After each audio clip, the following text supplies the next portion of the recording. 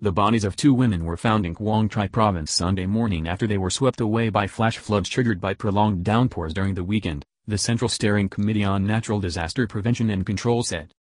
The victims were identified as Lu Thi Tu Anh, 63, and Nguyen Lu Van 35.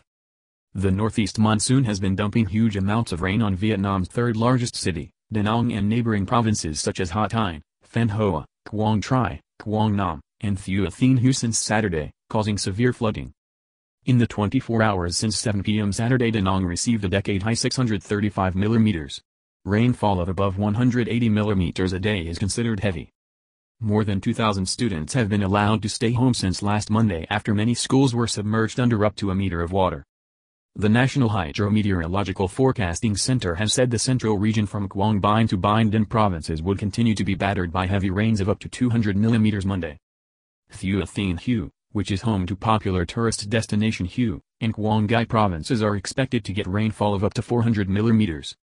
The government has sent an urgent dispatch to local authorities there urging them to take steps to prevent further flooding, casualties and loss of property. In the first 10 months of this year natural disasters have left 185 people dead or missing and injured 134 others, and cost the country more than VND $8.8 trillion, $381 million, according to the General Statistics Office. The video is sponsored by Ciantronic.com.